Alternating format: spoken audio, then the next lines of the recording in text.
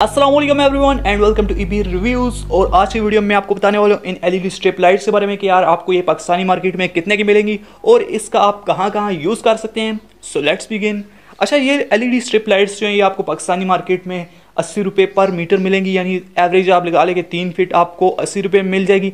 और इसका जो यूज़ है, आप स्टूडियोज़ वगैरह में कर सकते हैं। और ये स्टूडियो के चार चाँद लगा देते हैं। और मैं आपको बताऊँगा कि यार, कहाँ कहाँ मैंने खुद यूज़ किए हैं। सो लेट स्टार्ट अच्छा तो भाई, सबसे पहले आप ये नीचे टेबल के नीचे लाइट्स देख लें। ये भी एलईडी स्ट्रिप लाइट्स हैं, जो कि सस्ते में आपको काफ़ी ज़बरदस्त चश्के दे देती है। उसके अलावा ये आप कोने में देख ले, दीवार के यहाँ पे आपको एलईडी स्ट्रिप लाइट्स नज़र आ रही है। उसके ऊपर पोलिएस्टर मैंने लगाया, जो कि बाहर मुल्क में काफ़ी ट्रेंड चल रहा था। मैंने कहा, यार, मैं भी कर लेता हूँ। और उसके अलावा आप ये छत पे देख लें, ये भी यही सीन है। जैसे कि मैंने आपको बताया कि यार एलईडी स्ट्रिप लाइट्स के ऊपर पोलिएस्टर है। और उसके अलावा अगर आपने सीलिंग वगैरह की है तो उसके लिए भी काफ़ी बेस्ट है।